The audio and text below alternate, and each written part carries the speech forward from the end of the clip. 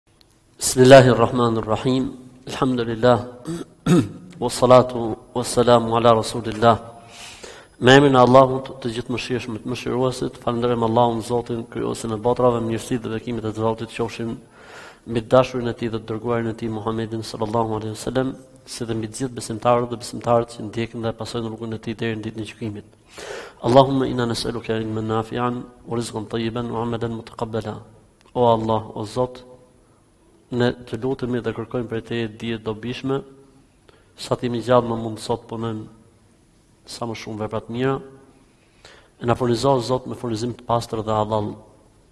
Allahumma alimna ma janfauna, uanfana bi ma alamtena, ua zidna ilma.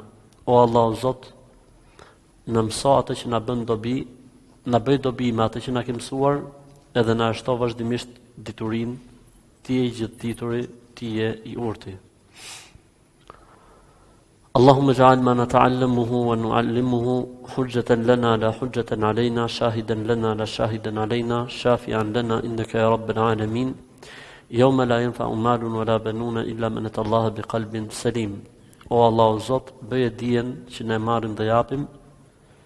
Argument për ne, jo argument kundra nesh, dëshmi për ne, jo dëshmi kundra nesh, dhe bëje o Zot ndërmjetësimin tonë në ditën e gjykimit, atë ditë ku nuk bën dobi as pasuria, as pasardhësit, vetëm se zemra e pastër dhe e shëndetshme.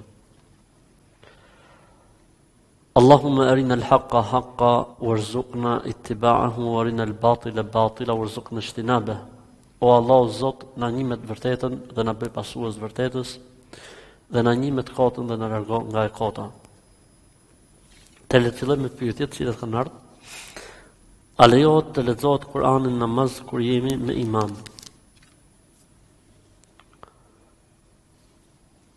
Kjo mesele ose kjo çështje është çështje që është diskutuar mes dijetarëve të medhhebeve të ndryshme. Ka prej atyre që kanë thënë leximi i Kur'anit në namaz është dy llojesh. Farz edhe sunet. Ka prej atyre që kanë thënë leximi i Kur'anit në namaz është shtyllë edhe sunet. Pra bëjnë dallim mes El Fatihas dhe pjesës tjetër të Kur'anit. Bëjnë dallim mes El Fatihas dhe pjesës tjetër të Kur'anit. Një pjesë e mirë e dijetarëve thonë që leximi i El Fatihas është shtyllë prej shtyllave të namazit. Që domethënë po s'u lexua El Fatihaja, namazi është i pavlefshëm. Dhe janë argumentuar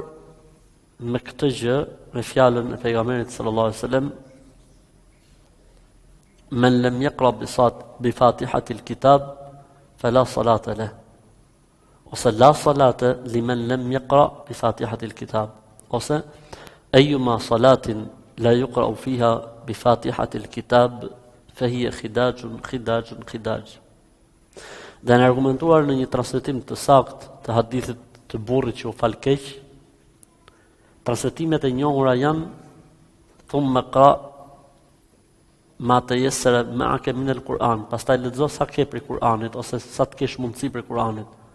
Në një transmetim thuhet, thumme ikra bi fatihatil kitabi, ue ma tejessere meake minel Kur'an, pastaj lexo fatihan, dhe çfarë të kesh mundësi nga Kur'anit. Ndërsa dijetarët e medhhebit Hanefi kanë thënë se leximi i El Fatihas në namaz është farz prej farzeve të namazit, gjë që nuk e bën namazin t'pavlefshëm, pasi Hanefitë bëjnë dallim mes shtyllave, farzeve dhe vaxhibateve dhe syneteve dhe mustahabateve.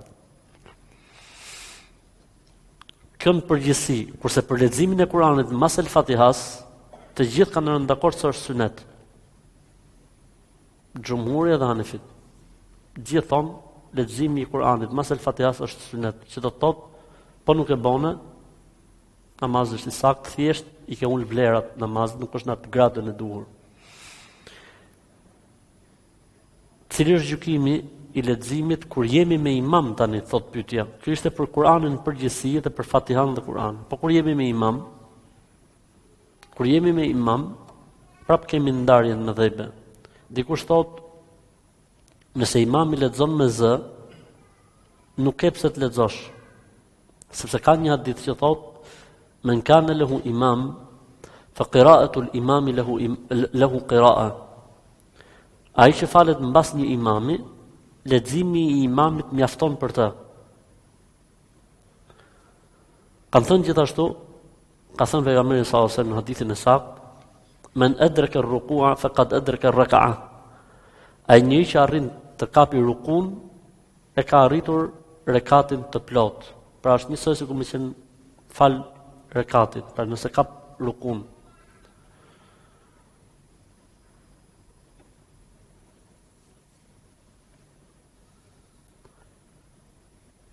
Ky është një mendim.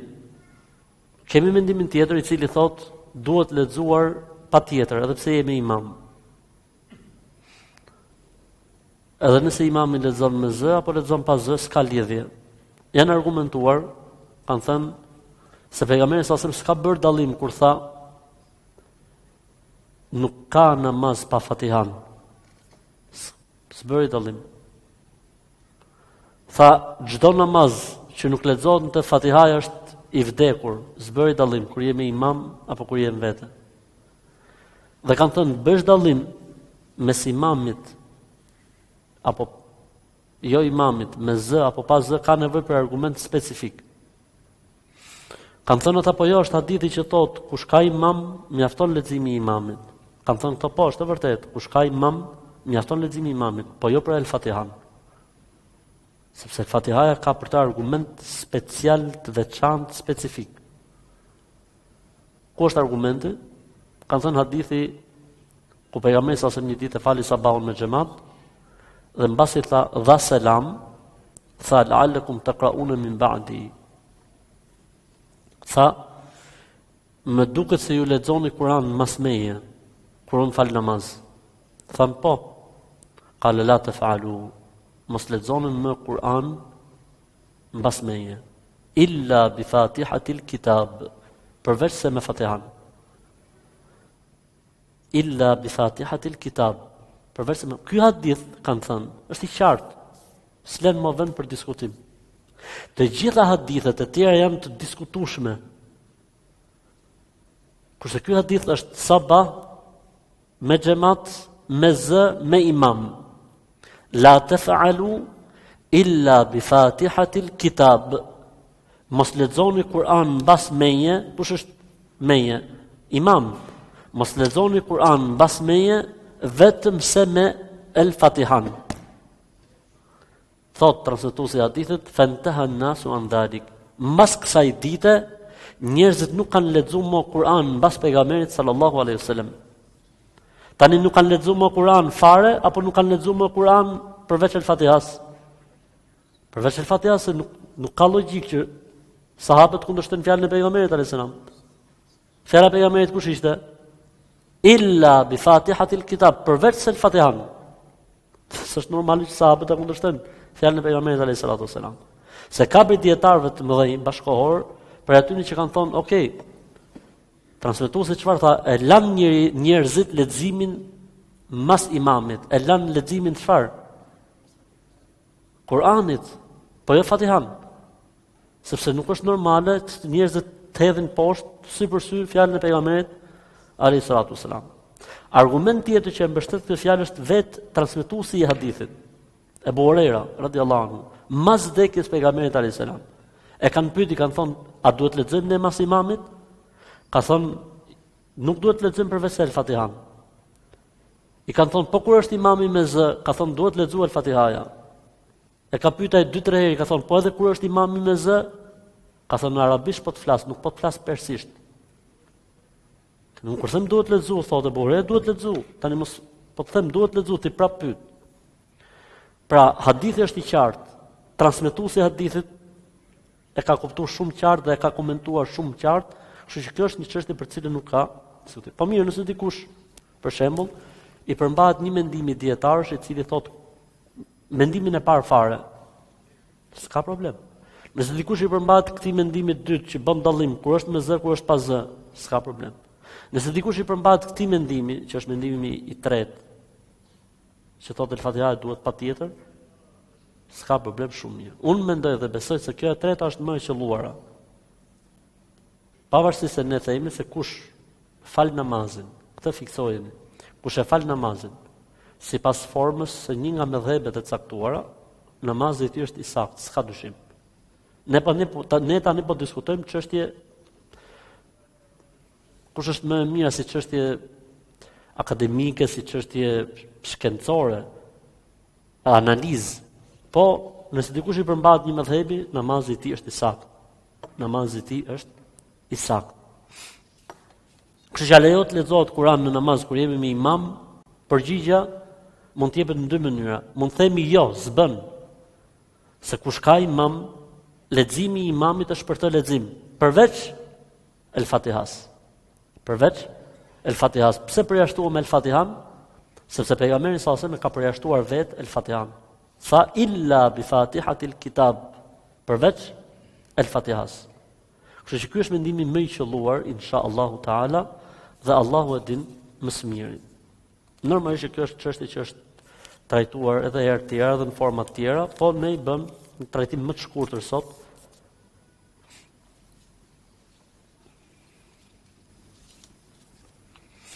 Jemi në një ambient ku unë punoj dhe nuk kam mundësi të fal namazin. Si i bëhet për bashkim apo a lejohet që të falim në tualet në raste të tilla?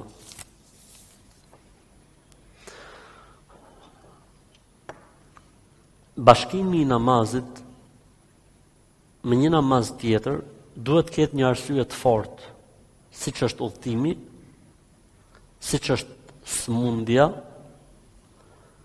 apo siç mund të jetë ndonjë vështirësi tjetër apo ndonjë situatë e cila është jashtë kompetencave të njeriut për ta menaxhu. Ose përndryshe bashkimi i namazeve nuk është i lejuar.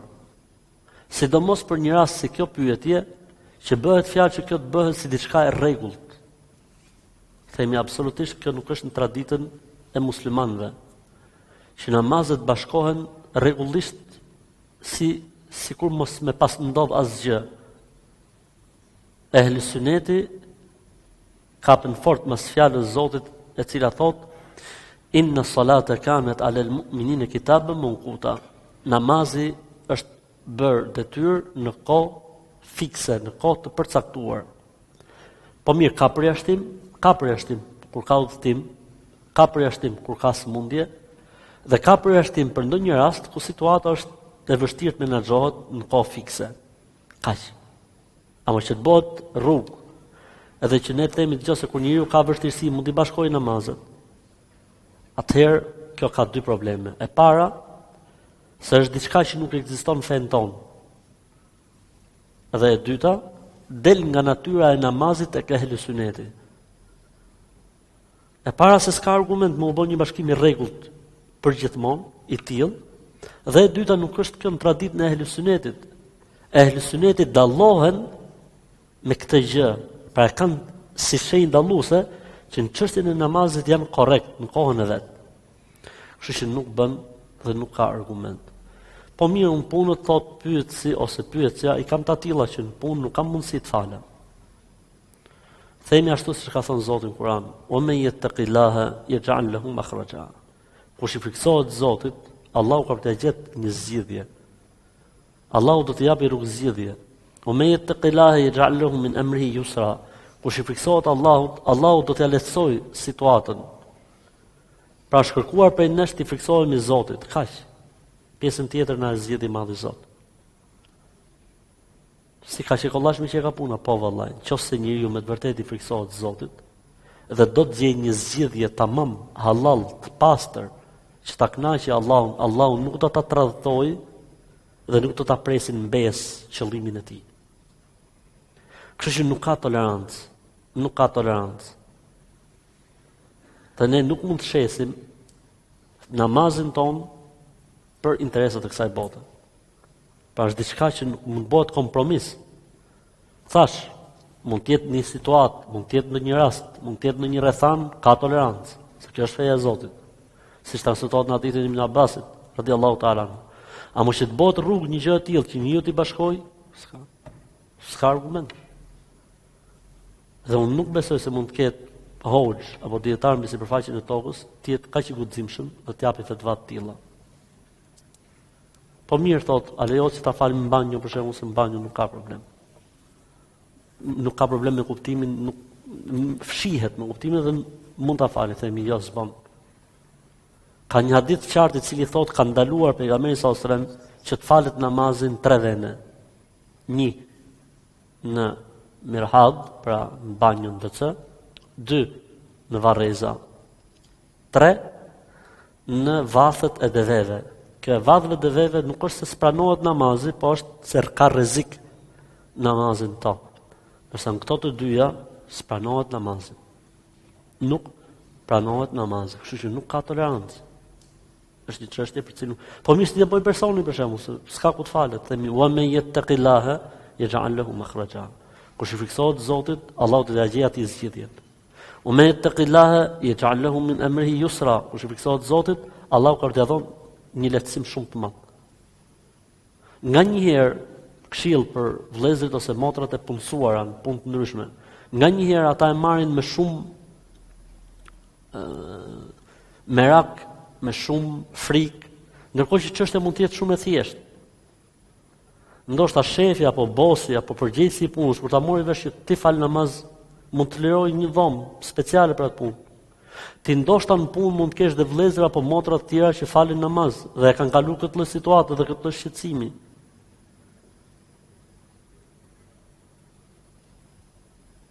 Pastaj njeriu mund të falet dhe në vendin e punës, aty ku është, nuk është kusht patjetër të ketë një dhomë speciale, të ketë një vend patjetër të pastër, të higjienizuar, që mos ketë në të mikrobe, që mos ketë në të pluhur. Ç'është s'është e thënë.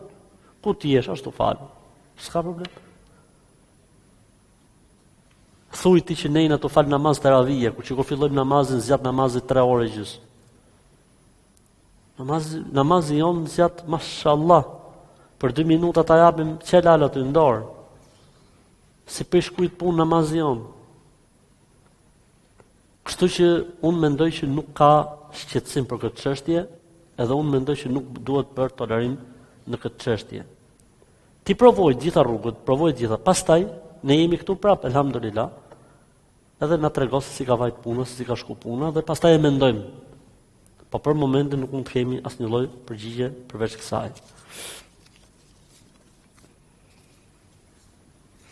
A lejohet të shifen filmat ku janë pejgamberët e Zotit të paraqitur me fytyrat apo me me me me, me figurat e tyre?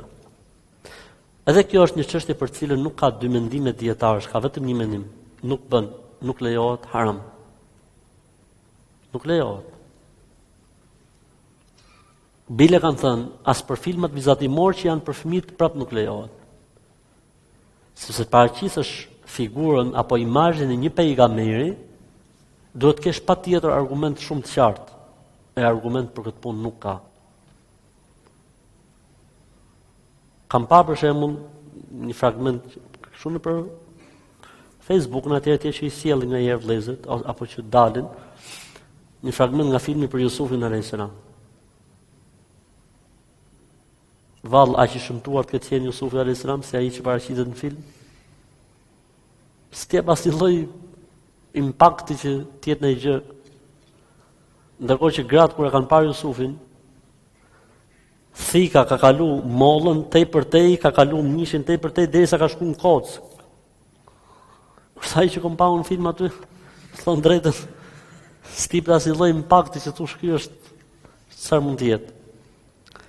E rëndësishme, për tej, përtej kësaj që thash, dhe themi nuk lejohet. Nuk lejohet absolutisht, sepse ka dy probleme. E para, figurat, imazhet e profetëve duhet të kenë argument. Dhe e dyta, shenjtëria e profetëve qëndron mbi imazherinë që mund paraqesin filmat. Ku mbetet pastaj shenjtëria e profetëve? Për këtë arsye thashë, kjo është një çështje për cilën nuk ka dy mendime. Jo po e kanë bërë ku dëgjon ti o vllai im. Mos u kap se çfarë kanë bërë dhe ku është prodhuar. Se ky është një problem që ne e hasim shpesh.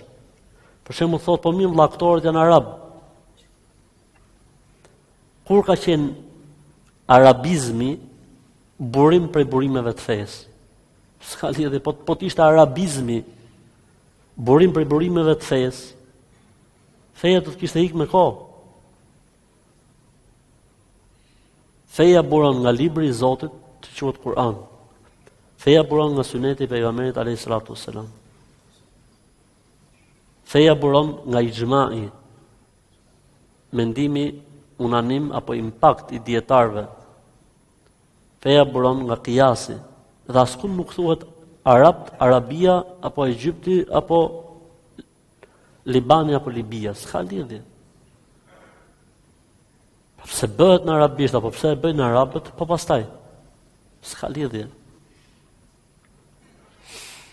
Diskutimi ka qenë nëse filmat bëhen me sahabët. Dhe kjo është një çështje që deri në këtë moment që po flas unë nuk di, flas nga dijetarët që ne i referohemi. Të ketë tolerancë. për sahabët, për shkak të pozitës të veçantë dhe shenjtërisë që gëzojnë shokët e pejgamberit alejhi salatu ue selam tek Zoti i gjithësisë dhe tek zemrat e besimtarëve. Keni parë për shembull atë filmin që quhet Mesazhi Islam apo filma të tjerë që janë bërë t'i paraqet sahabët gjithë duke përdor xhamin në pikë mëngjesit me xham të fytyra, faqes. Ç'është kjo punë? Mendohet që të ketë pas sahabë që bonin lojëra të tilla, s'mendohet kurrë. Pastaj duke i paraqit sahabët në imazhe të ndryshme gjë që e ul edhe pozitën e tyre në zemrat e njerëzve. Për këtë arsye, përsa i përket profetve, s'ka dy mendime. Përsa i përket sahabëve, ajo që di unë deri tani në këtë moment, unë nuk di që të ketë dy mendime. Pastaj për njerëzit e tjerë që vijnë më mbrapa është çështje e lehtë. Çështja është më ndryshe, ka tolerancë ku dëgjon të tjera të tjera.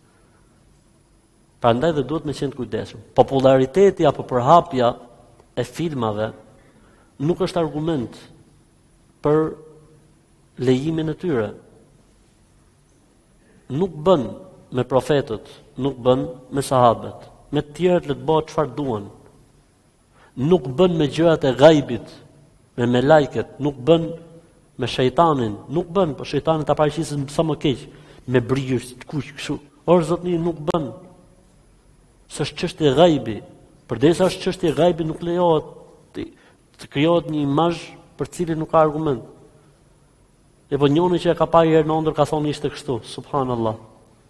E kur u bënë ëndrrat e njerëzve të rëndomtë, Argument se si mund të jetë ajo që s'duket dhe që quhet ghaib.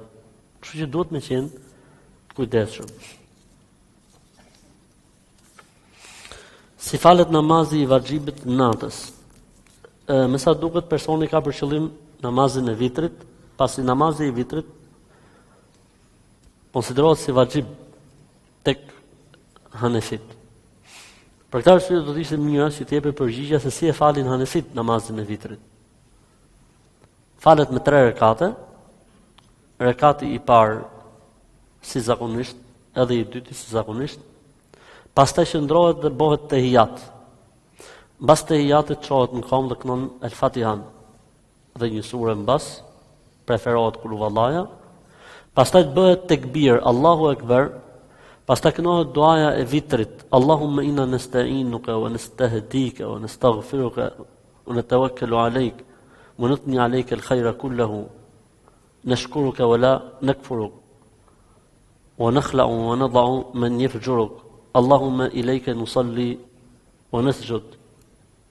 Ue ilejke nes'a ue nahfid, deri në fund duas.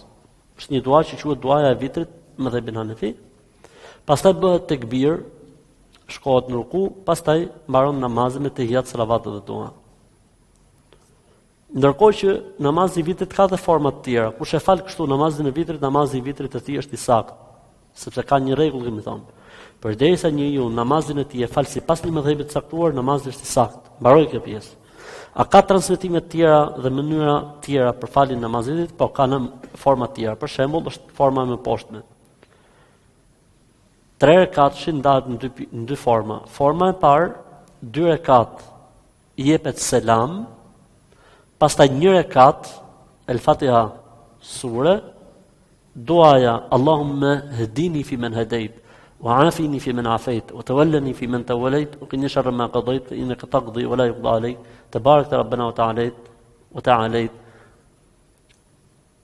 Edhe biet në ruku. Po mund të bëhet edhe në ndonjë dua tjetër, nuk ka problem. Kjo është një formë. Forma e dytë bëhet rekati i parë, bëhet rekati i dytë, bëhet rekati i tretë pa selam mes. Çohesh në të tretin, bën të njëjtën gjë. Pra o tre pa ndar ose dy selam, pastaj një selam. Dhe faktikisht Domethënë, mënyra më e drejtë dhe më e saktë e faljes vitrit është kjo e dyta. Dy selam një, ose tre pa ndarë.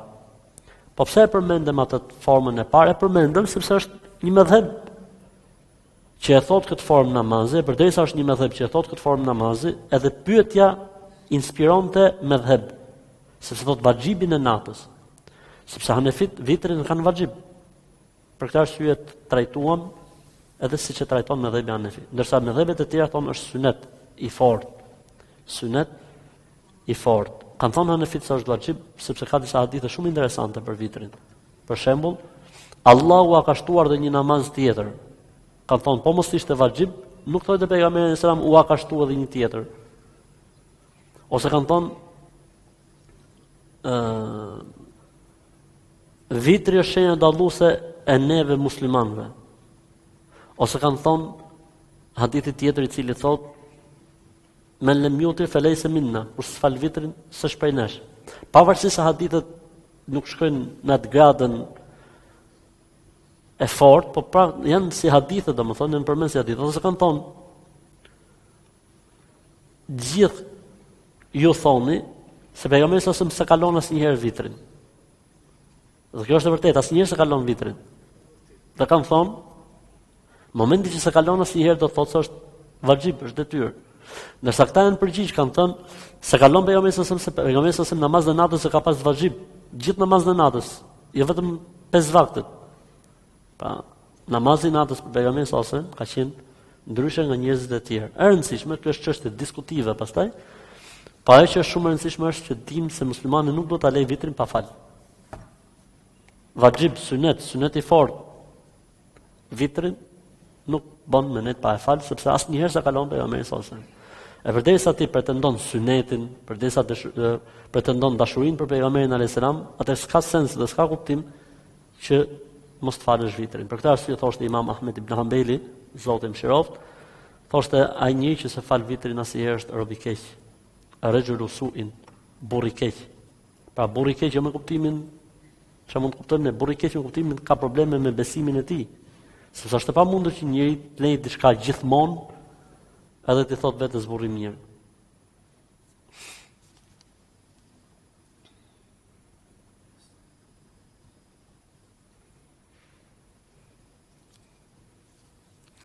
Thotë si mund të bëhet shlyerja e namazeve? Shlyerja e namazeve duhet bëhet duke u penduar tek Allahu për atë që ka ndodhur, duke qenë korrekt në namazet që vinë, edhe duke shtu sa më shumë namaz nafile, nafile, sunete sa më shumë. Ka thënë pejgamberi sallallahu alaihi wasallam në hadithin e saktë, do t'i thotë Zoti xhel-le xhelaluhu melaikeve për një njeri që ka pas probleme me farzet e tij. Sillni namazin nafile të robit tim që t'i kompensoj me të namazin farz. Sillni namazin nafile të robit tim që t'i kompensojmë me të namazin farz dhe nuk tha robi im a i ka fal për së dyti farzet apo jo.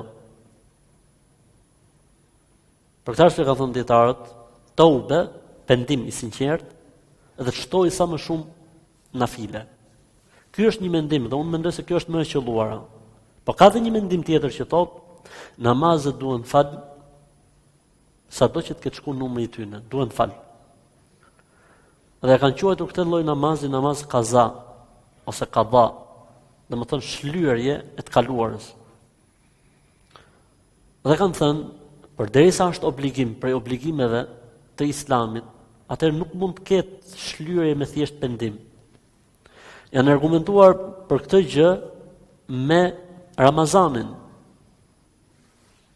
Kanë thënë, nëse njeriut i ikën Ramazani nga koha e vet, a mund dali nga detyra? Thanë jo, duhet ta bëjë Ramazanin, edhe pse i ka ik koha. Kanë thënë, kështu është edhe puna e namazit. Kanë thënë sepse namazi është obligim i detyrueshëm dhe nuk shlyhet vetëmse me e bërë atë. Ndërkohë që të tjerë kanë thënë nuk mund të krahasohet me Ramazanin. Pse? Sepse Ramazani obligohet dhe për gratë që janë me të përmuajshme.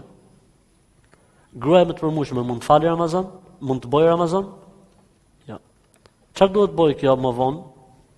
Duhet ta përsërisë patjetër. Po mirë, namazin që nuk e ka fal gruaja për shkak të përmuajsh, të përmuajshmeve të saj, duhet ta përsërisë prap? Do të thonë që paska dallim.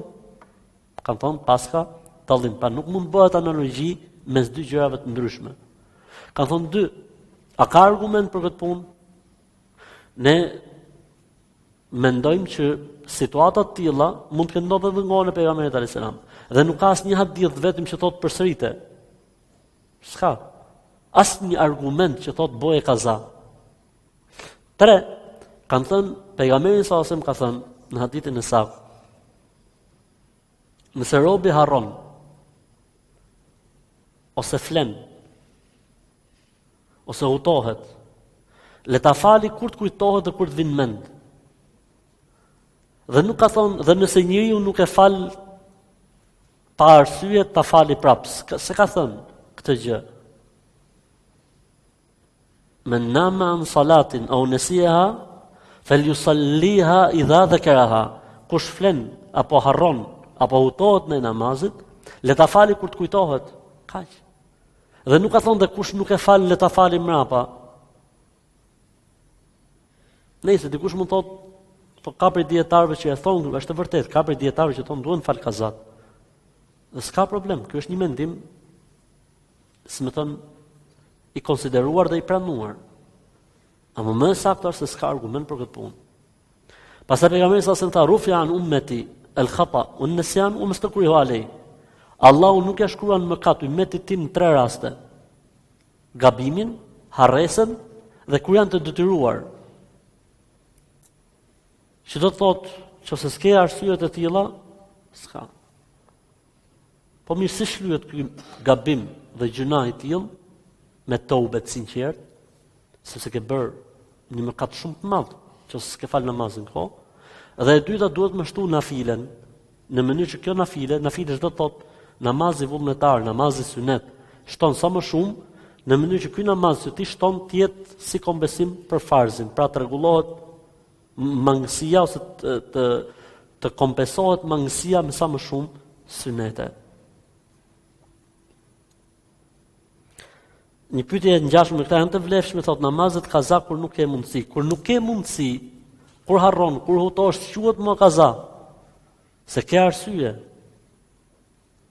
Për shembull, pejgamberi salasem i ka ikur ditën e Uhudit, ikindia dhe akshomi.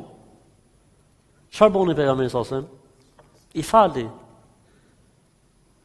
Mirë, ikindia dhe akshomi i ikën me koshiencë apo pa koshiencë? Pa koshiencë. I ikën pa koshiencë. Dhe i fali. Kështu që nuk quhet kaza, quhet njësoj sikur në kohë të vet. Është njësoj sikur njërit t'i dalë gjumi në orën 10. Ky e fal sabahun apo s'e fal sabahun? Ky duhet ta fali sabahun. Po mirë, sabahu ka 3 orë që ka maru.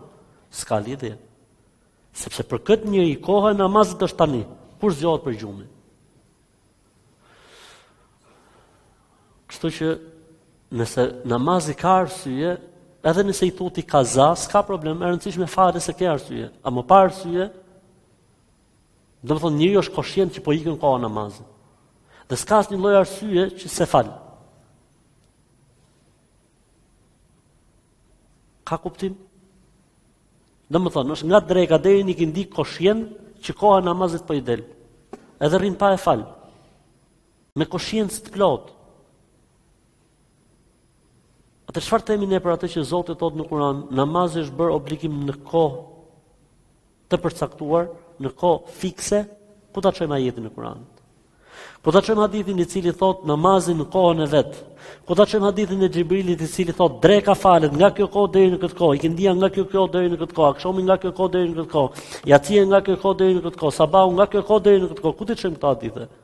Pse thuhet namazi sabahut, se falet në sabah, pse thuhet dreka, se falet në drekë, pse thuhet ikindia, se falet në masdite, pse thuhet akshami, se falet në perëndim, pse thuhet jaci, darkë, se falet në darkë.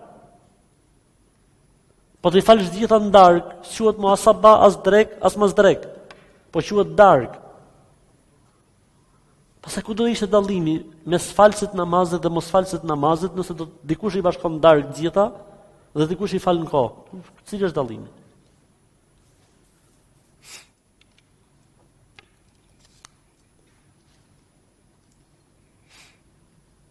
Cila është mënyra më e mirë për të le, mësuar leximin e Kuranit në gjuhën arabe dhe sa kohë mund t'i nevojitet njeriut? Varet se kush hoxh Dhe kush është ai që merret me këtë punë? Unë mendoj që një javë është mjaftueshme që njeriu të futet në leximin e Kuranit, në lexim. Pastaj që ta kapi mirë me texhvid, pra ta knojë mirë dhe rrjedhshëm për dy javë. Për ata që janë më të dobët, tre javë. Dhe për ata që janë drunjë fare, një muaj është më se e mjaftueshme. Për një javë me i gjys ore në dit, po të vish ke hoxha rregullisht të futesh në Kur'an. Po të vish dy javë e lexon me melodi, po të vish në tre javë mund të zëvendësosh imamin. Po të vish për i muaj, imami mund të mungojë i qetë nga xhamia se ti mund ta zëvendësosh. Përse në disa raste në Kur'an thuhet Allahu kur flet për veten e tij thotë ne dhe në raste të tjera thotë unë.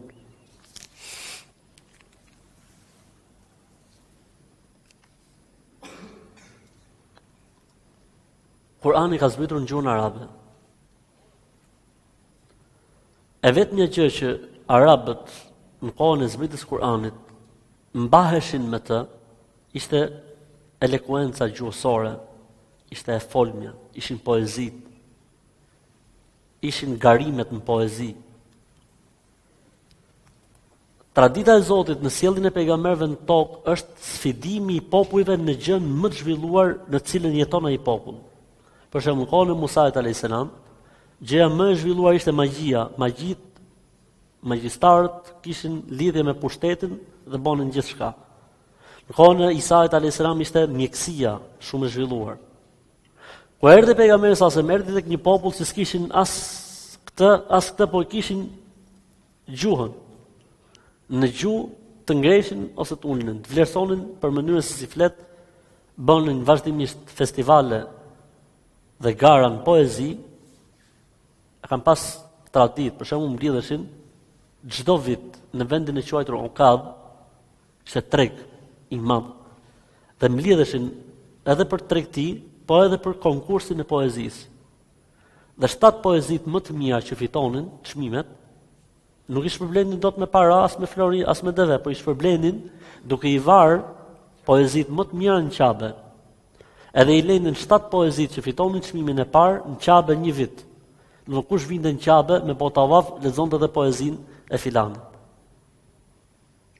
që e rrallë është, shumë, shumë vlerësim i madh ishte për atë njeri. Kur'ani erdhi për t'i sfiduar njerëzit pikërisht në elokuencë në gjuhë. Dhe në gjuhën arabe, kur thuhet ne, folësi ka për qëllim, ose shumësin, veta e parë shumës, ne, ose ka për qëllim veten e tij, po flet kur do të madhërojë veten e tij dhe kur do të Tregojë superioritet ndaj të tjerëve. Edhe pse është një person ai thotë ne, është tu fol për veten e tij. Dhe kjo ekziston në gjuhën arabe, dhe është prej formave të të shprehurit, retorikës së gjuhës arabe. Për këtë arsye dhe Allahu xhelalu në Kur'an, herë pas here kur flet për veten e tij thot ne. Kë ka për qëllim Zoti me ne shumsin apo ka për qëllim atë që është një formë të shprehurit në gjuhën arabe që tregon Dlirësim, madhërim dhe lavdrim. Sigurisht dytën. Po mirë, faktikisht kjo shprehja ne është diçka që ka edhe këtë kuptim edhe këtë kuptim, apo jo? Pse ne shkum ke ky kuptimi dhe injorum kuptimin e parë? Se ne ka kuptimin e shumësit dhe ka kuptimin e vetëmadhërimit. Pse ne injorum kuptimin e parë që ishte shumësi dhe u kapëm tek kuptimi i dytë? Kush ma jep përgjigjen? Se përderisa kjo të dy, gjua arabe i ka të dyja, thot edhe shumës, edhe vetëmadhërim. Pse ju muslimon, kur e komentoni fjallën ne, shkoni ke kuptimi i dytë, dhe nuk shkoni ke kuptimi i parë, po. Bravo.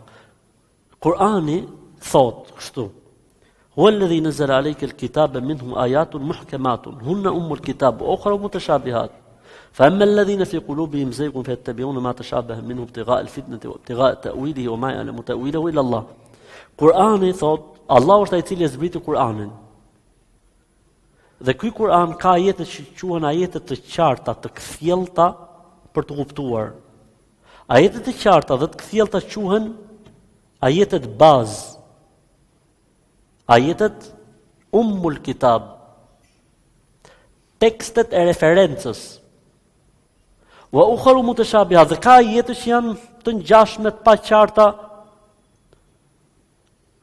Besimtarët e vërtetë ndjekin ajetet referuese. Dhe ajetet që janë të paqarta i kthejnë tek ajetet referuese. Kështu që nëse neja ka dy kuptime, edhe shumësin, edhe madhërimin, a ka ajete të tjera të qarta që e sqarojnë këtë çështje? Sa zota janë? Shumë apo një? Çfarë thotë Zoti në Kur'an? Kul huwa Allahu ahad. Thuaj Allahu është një. Atëherë ra kuptimi i dytë i nes. Ose kuptimi i parë i nes që ishte shumësi, ra. Pse ra? Se në ajetin e qartë thot Allahu thuaj Allahu është një i vetëm. Absolut. S'ka lindur dhe prej tij s'ka lindur kush dhe me të askush nuk është i ngjashëm apo i barabartë. Fa'lem ennehu la ilahe illallah, dije se nuk ka të adhuruar me të drejtë përveç Allahut, Zotit të vetëm të vërtetë, mbaroi. Atëherë çdo ajet tjetër ku Zoti flet me ne, nënkupton vetëmadhërimin e vetes dhe nuk nënkupton shumësin. Dhe ky Kur'an nuk mund të kuptohet vetëm si në gjuhën e Kur'anit. Inna anzalnahu Kur'anan Arabian la'allakum ta'qilun. E kemi zbritur Kur'anin në arabisht që ta kuptoni. Kuptimi i vërtet i Kur'anit vjen kur ja din gjuhën simbas origjinalit.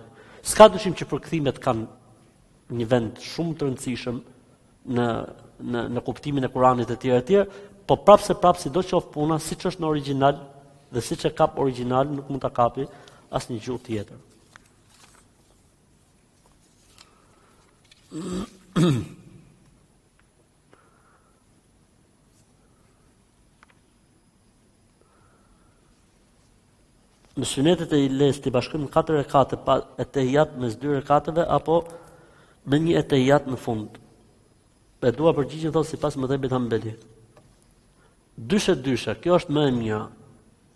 Te hanbelit dyshe dyshe dhe janë argumentuar për këtë me thënien e pejgamberit sallallahu alajhi wasallam salatu al-laili wa an-nahari mathna mathna namazi i natës dhe i ditës është dy nga dy kështu që kjo është mënyra më e mirë për të fal synete mënyra më e mirë për të fal synete është dy nga dy kanë thënë gjithashtu kanë thënë se ka një transmetim i cili nuk e parapëlqen ngjashmërinë e faljes mes farzeve dhe suneteve. Kan thonë dhe kjo është arsye e dytë. Për këtë arsye kan thonë nëse dikush do të falë sunetet e drekës, i fal ose katër me një tehijat ose dy selam, dy selam dhe kjo është forma më perfekte. Meqë personi e don përgjigjen sipas medhhebit Hambeli. Po nëse dikush i bën sipas një medhhebi tjetër, namazi i tij është i saktë.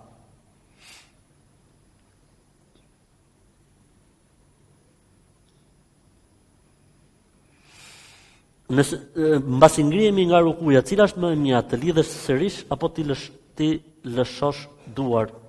Edhe kjo është një çështje që e don sipas medhhebit Hanbeli. Edhe medhhebi Hanbeli kjo çështje ka dy interpretime. Vetë në medhhebin hambeli ka prej ulemave që thonë i lidh dhe shumë prej hambelive bashkëkohorë, siç është Sheikh siç ka qenë Zoti e mëshiroftë, Sheikh Ibn Bazi e të tjerë i, i qëndronin këtij verdikti që pra që mas rukuje i lidhin edhe një herë duart. Po vetë në medhhebin hambeli ka dhe një interpretim tjetër që është mendimi më i saktë, që është lëshimi i duarve mbas rukuje dhe ky është mendimi i medhhebeve. Pra të gjitha medhhebet kanë mendimin se lëshohen, edhe ky është një mendim brenda medhhebit hambeli. Kur bën, kur njeriu për shembull ka të, thot vesh dorashka etj etj për namazin, për tesbit etj etj. A është shpërblimi njësoj? Shpërblimi është njësoj dhe Allahu e din më së miri.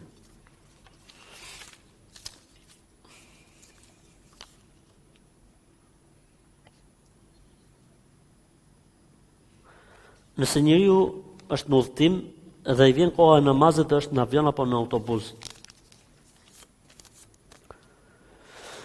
Nëse koha e namazit del gjatë udhëtimit dhe s'ka mënyrë tjetër për t'u fal vetëm se në avion apo në autobus, namazi është i vlefshëm.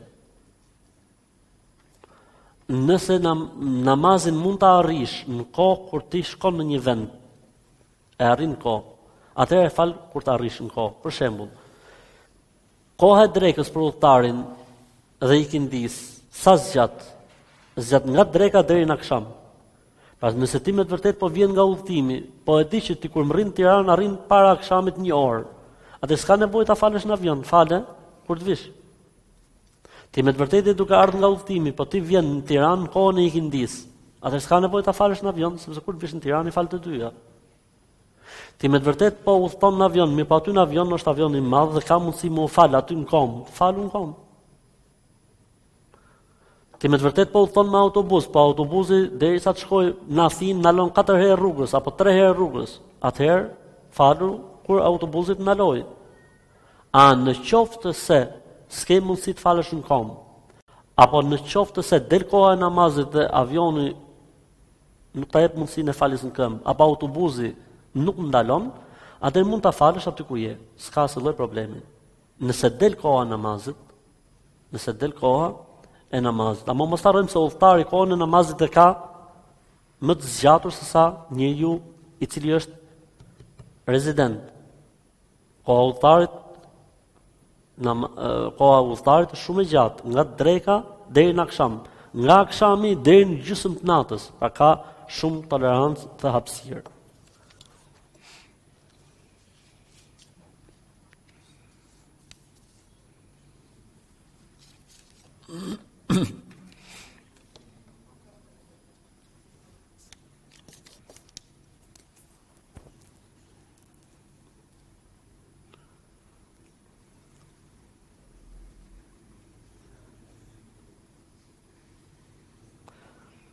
Kisha për të falur namazin, kisha për të falur ikindinë dhe akshamin. Fillova të fal akshamin dhe kur isha në rekat të dytë u kujtova që s'kisha falur ikindinë. Nuk e ndërpreva namazin, Po fala dhe dy rekat dhe dhashë selam si për ikindi. Pastaj fala dhe akshamin. Jo, nuk mund të bëhet kjo punë. Ndryshimi i nijetit brenda namazit nuk pranohet. Thotë Xhabardi s'lejohet, ka të drejtë. Kur ia qëllon, ia qëllon. Allahu e shpërbleftë. Nuk mund të ndodhë kjo punë. Ç'do të thotë fjala nijet. Nijet do të thotë Vetëdija e personit, koshienca e tij se çfarë po bën. Dhe nijeti nuk quhet nijet, po nuk u bë para adhurimit. Pra nuk mund të vish ti në xhami, Allahu Akbar, edhe tani thu, ça të fal unë, të fal duhan apo të fal dy rekatëshin e xhamisë, apo të fal dy rekatëshin e abdesit. Edhe tu menu, tu knu Fatihan, tu knu suren kur vjen në ruku thu, po e bëj duha. S'ka lidhje. Sepse nijeti duhet bërë para adhurimit. Çfarë quhet nijeti? Quhet shtyllë e adhurimit apo quhet kusht për adhurimin? Kusht. Pse?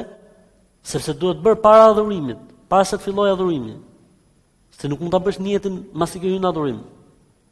E qartë? Pra, nijeti është kusht i adhurimit që duhet ta shoqërojë adhurimin deri në fund. Pra nëse ti futesh Allahu Akbar me nijetin e akshamit, pastaj thu mos namazi i ikindisë.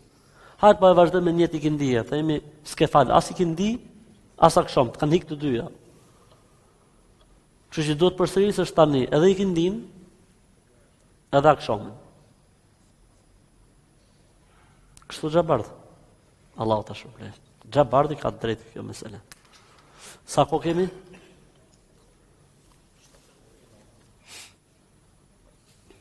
Thotë, çfarë po bënte, çfarë po bënte Zoti thotë përpara krijimit?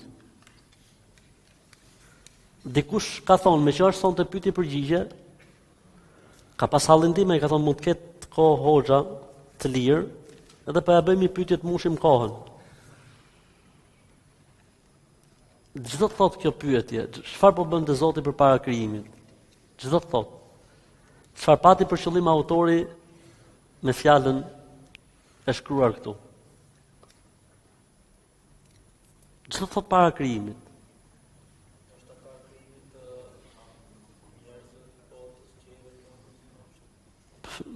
Allahu Xhele Xhelaluhu ka ekzistuar dhe ekzistenca e Zotit nuk ka një kufi. Allahu ka ekzistuar dhe ekzistenca e tij nuk ka një kufi, një fillim. Çfarë ka krijuar Zoti nga kjo që ne dimë, s'është asgjë nga ajo që ne nuk dimë. Për këtë arsye në hadithin e njohur çfarë thotë?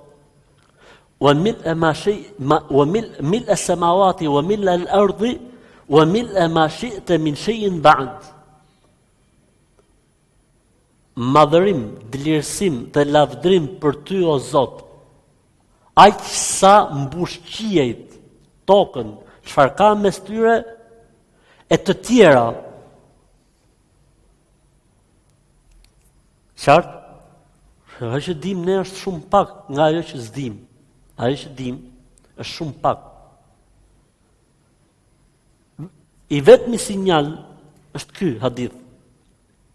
Dhe kanë thënë dietarët, Zoti nuk na ka dhënë sinjal për të tjera gjëra, sepse kapaciteti i njeriu është shumë i vogël për të kap madhështinë dhe për të përfshirë madhështinë e krijimit të Allahut xhelexhelaluhu Pra Zoti na ka tregu aq sa bajmë. Zoti na ka treguar neve aq sa bajmë. Dhe këto pyetje zakonisht janë pyetje të njerëzve të cilët janë shumë të lirë nga punët dhe angazhimet. Pra një njeri i cili ka probleme me namazin nafile, me namazin e natës, një njeri i cili ka probleme me leximin e Kur'anit, një njeri i cili ka probleme me dhikrin, përmendjen e Zotit, një njeri i cili ka probleme me prindrit apo mund të ketë probleme me gruan apo hallet me fëmit, apo ka fëmi, apo s'ka fëmi, apo dëgjon gjona tjera, e tjera, e tjera, Çfarë bën? Rrin tani dhe merret me punët e Zotit. Sepse ky ky sikur të kishte punë, u merrte me hallet e veta, me problemet e veta, me sikletet e veta, me adhurimet e veta dhe nuk do t'i dilte koha me menu të tilla gjona. Po në momentin që të tjerat punët e veta i ka n'terezi të gjitha, i ka rregullu të gjitha, tani ka ngel me u morr me Zotin. Vallë, çfarë bonte Zoti përpara se të krijonte qiellin dhe tokën? Pra ne i themi këtij vllajt, përgjigja më e mirë për të tilla pyetje është që ti të jesh i rregullt në namazin farz. Ti të jesh i rregullt me sunetet. Ti ti jesh i rregullt me namazin e natës. Ti të jesh i rregullt me dhikrin e mëngjesit dhe të darkës. Ti të jesh i rregullt me Prindërit e tu me nonën dhe me babën, të jesh i rregullt me bashkëshorten qoftë se je i martum. Të jesh i rregullt me fëmijët e tu që ti t'ju mësosh atyne fenë dhe besimin dhe t'ua fusësh fenë dhe besimin me dashuri, me me me me kënaqësi në gjak Qysh të vegjël, që ta dunë, Allahun, pejgamerin alejhi selam. Të jesh i mirë me komshit, që njerëzit që ke n'pallat, njerëzit e shkallës tonë, tënde, thonë nuk ka njeri si filani, mashallah edhe i falet Zotit, shkon në xhami. Të jesh i atill që kushërinjtë e tu kur flasin për ty, thon gjithë farefisi jot, thon ah sikur t'u bojte çuni jon si filani. Kjo është sfida jote o vllaim ose motra im, kush mund ta ketë bërë këtë pyetje. Kjo është sfida jote sot në këtë botë. Nuk është sfida jote të merresh me Zotin dhe me punët e Zotit. Ka thënë Allahu në Kur'an, "La jus'elu amma jef'al ue hum jus'elun." Allahu nuk pyetet për atë që bën Zoti, ja kjo pyetje. Allahu nuk pyetet për atë që bën Zoti dhe çka ka bërë si, si, si do të bëjë Zoti. Hum jus'elun, ju do të pyeteni. Kështu që ti ke për t'u marrë në llogari si ke qenë me namazin, si ke qenë me Kur'anin, si ke qenë me dhikrin, si ke qenë me prindërit, si ke qenë me familjen, si ke qenë me farefisin, si ke qenë me edukatën dhe me sjelljen.